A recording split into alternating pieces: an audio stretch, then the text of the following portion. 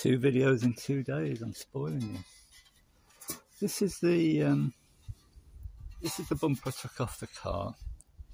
And it's got this cutout here for the um, license plate, registration plate uh, light, which it, it's cut out quite nicely. It's not it's not really uniform, but i have never seen another car with that that on.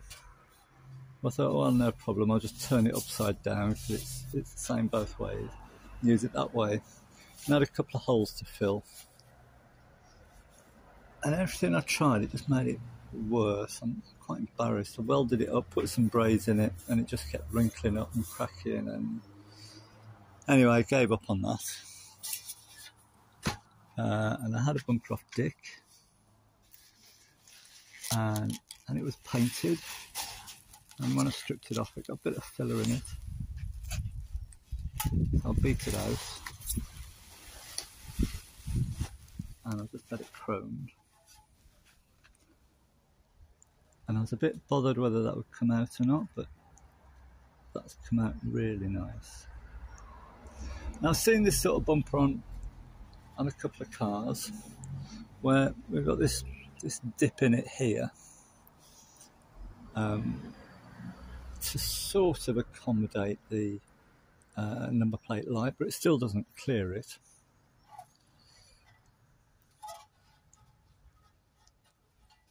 I'll just get the rest of the stuff out. I've not looked at this yet. but um, when I had the front bumper done, I had the front bumper and the overriders done. It cost me £350 and that was about hmm, I don't know six months ago, nine months ago.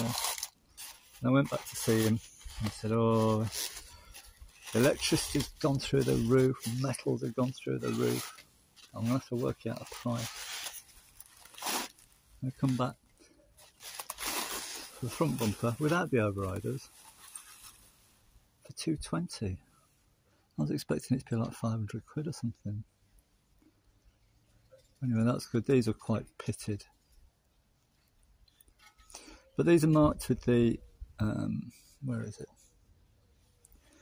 Uh, part number 4617 and that number is, is on my old bumper as well. But you can see how these have been beaten out here by by hand. The one I took off the front had been beaten out like that as well. But really, like that that's a, a one-off bumper on the front, I think. So look at this one.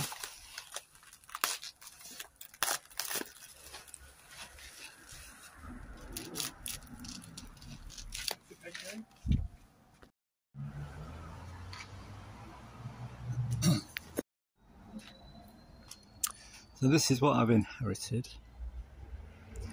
Let's say that's a new LED bulb and I presume that's sort of original.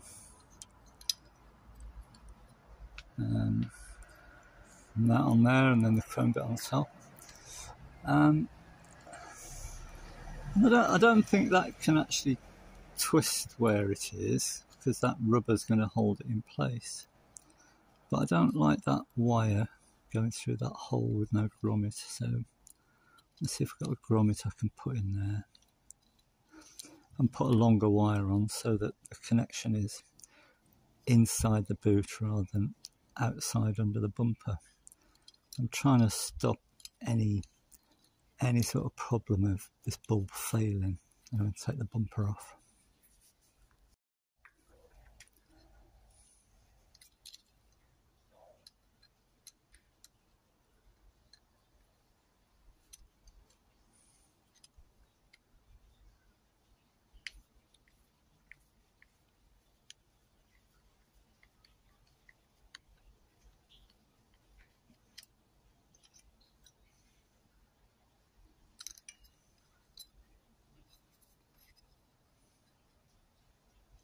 I presume that's a bit of fossil engineering.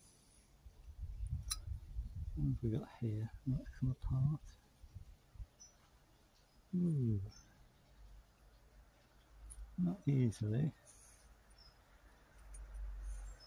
Oh, I see. I guess I can do that. Unsolder that.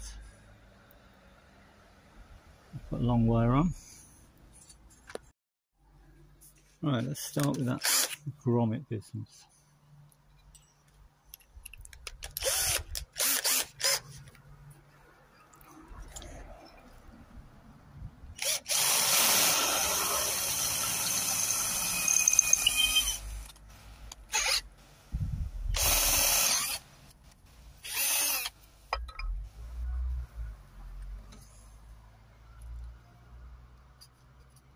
file it off.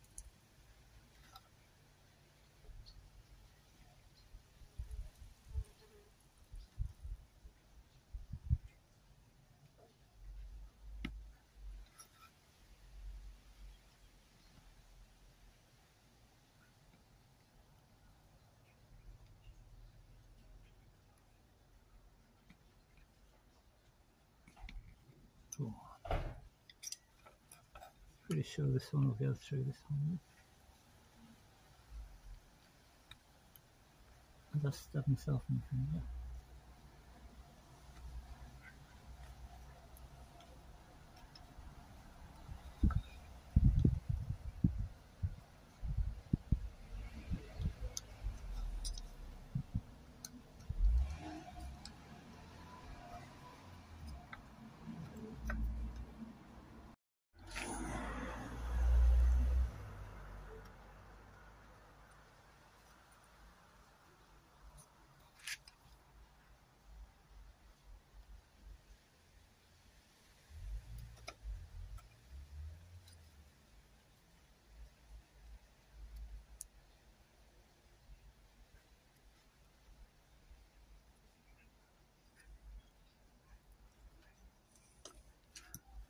That's near enough.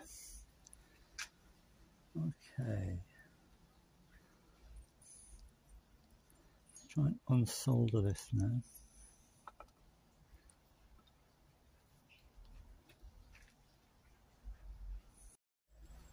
So, will this unsolder?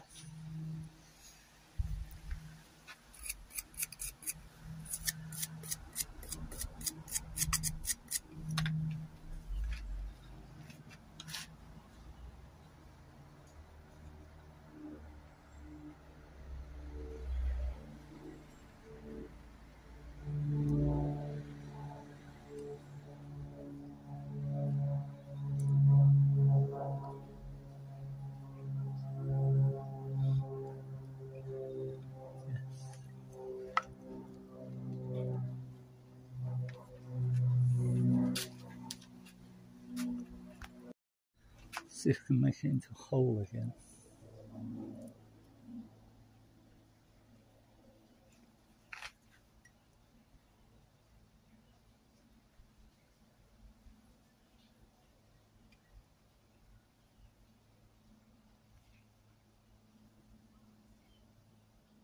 Seems to work, sort of.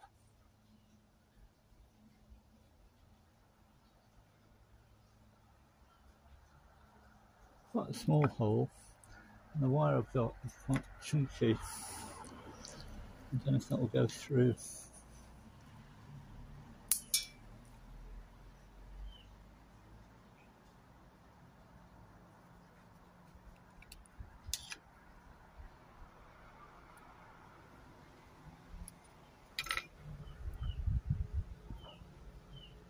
Chance, make that bigger.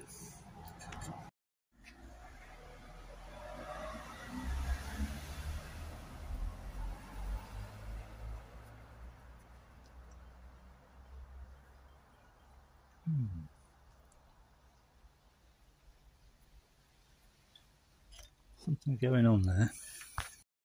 Try running a drill through that. if I can hold it.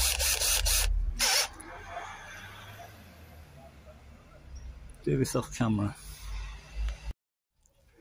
So I decided to split the wire and just push some of it through.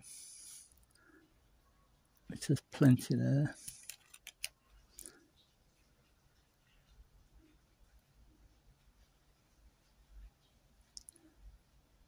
I mean, this must be some sort of little plastic disc or something with a maybe a brass middle to it.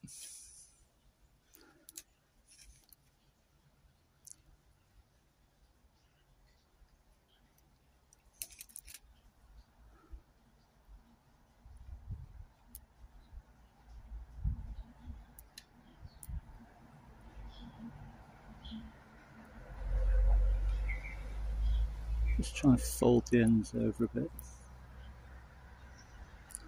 See what that does. Oh, burnt hole in the drill.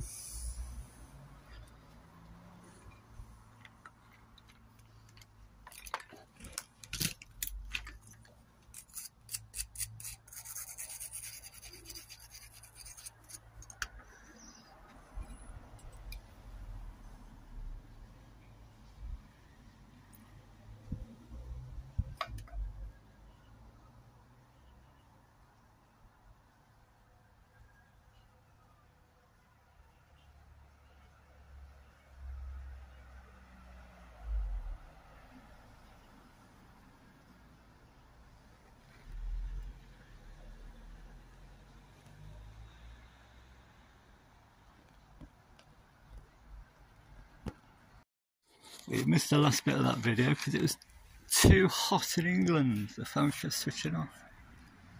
Uh, so anyway, that's on. Just give it a whirl.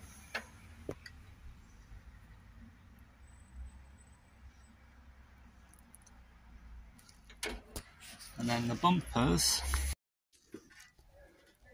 pump, I can't even see the screen here, it's so bright, but something like that.